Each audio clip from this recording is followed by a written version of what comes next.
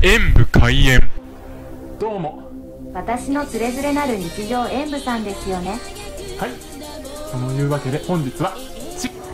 ちら、ファミリーマートの食べる極上キャラメルを食べたいです。こんな虫さん久しぶりですね。今回はキャラメル味ということで、ちょっぴり大人の味わい下にいつもの通りキャラメルアイスありますね。それだけでソースも入っているので、これは気になりますね。うーん、それでは、チャンネル登録よろしくお願いします。では、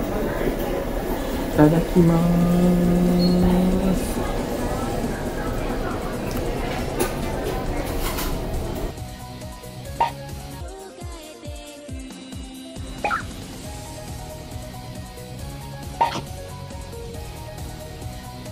キャラメルアイスが濃厚な苦味があるので、ソースの方がより強いの苦味があって、2種類の苦味を楽しむことができてよかったですね。途中で変化するので、同じキャラメルでも最後まで飽きることなく違う味を楽しめて、